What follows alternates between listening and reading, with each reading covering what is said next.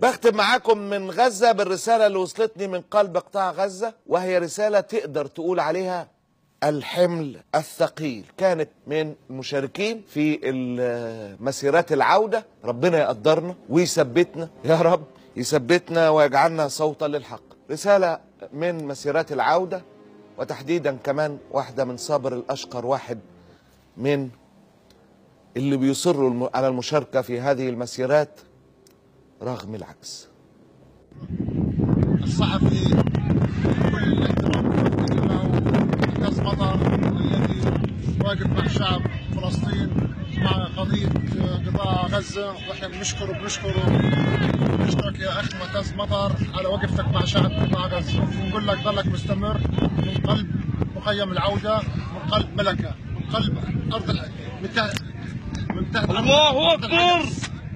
من تحت الله! الحدث. من أكبر. قلب ملكة من قلب ملكة من قلب مخيم العودة. نحن بنشكرك يا أخ معتز مطر ولك منا كل التحيات. كل التحية آه، من كل ملكة. التحية كل التحية من ملكة من منطقة ملكة أرض الصمود أرض الصمود وطعم الحياة. ضلك مستمر. معانا في ضلك القضية مستمر. الفلسطينية. في القضية الفلس- الفلسطينية وإحنا نشكرك بنشكرك يا أخ معتز مطر وضلك مستمر. ضلك مستمر ضلك مستمر. شكرا يا أخ معتز مطر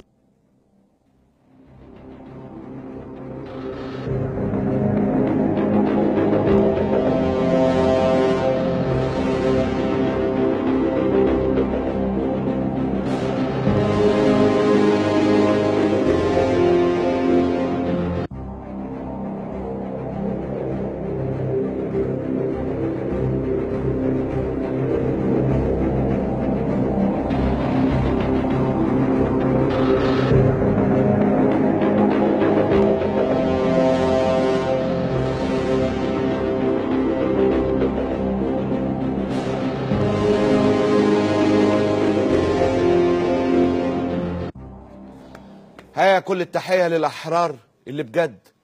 نسمة الهوى الوحيدة النقية في هذا الوطن الذي يعاني كما لم يحدث من قبل. تحية لغزة ولفلسطين الحر. كل هذا الصمود ربنا يصبرنا ويثبتنا جميعا. أختم مع حضراتكم بكلمات لدكتور مصطفى محمود الله يرحمه لما قال هل تعلمون ما معنى أن الله موجود؟ معناها أن العدل موجود والرحمة موجودة والمغفرة موجودة. معناها أن يطمئن القلب وترتاح النفس ويسكن الفؤاد ويزول القلق. معناها أنه لن تذهب الدموع سدى ولن يمضي الصبر بلا ثمرة ولن يكون الخير بلا مقابل. كونوا على يقين. الله غالب.